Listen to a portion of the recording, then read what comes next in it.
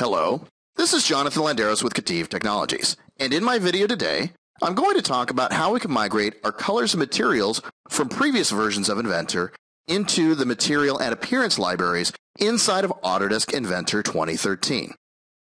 Now, the first thing to note is that these have changed a bit as of the 2013 version. Now, if I open up my project file and we take a look at the past, there's a material and an appearance library inside the project that's separate from the design data, where the colors and materials were previously stored. If we take a look inside of Inventor, we can click in these two areas to find the material library and the appearance library, and we can look at them there. If I click on this icon here for the material library in this case, I can see the different materials, and these are the defaults for 2013. But what if I want to add the libraries that I created in a previous version of Inventor? That's what we want to do, isn't it? Well, to do that, it's actually pretty easy, but you got to know where to look.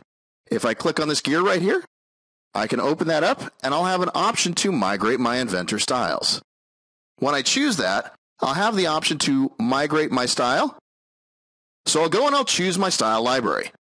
I can create a new library or I can select an existing library and go ahead and merge the two libraries. Which you choose is up to you. Hitting OK, it'll go ahead and go through the process of migrating those libraries. The nice part is once you've done the material, appearance is basically the same steps, except now we're choosing colors instead of materials. So that's the trick. Not hard once you know how to do it, but again, just something you need to know where to look.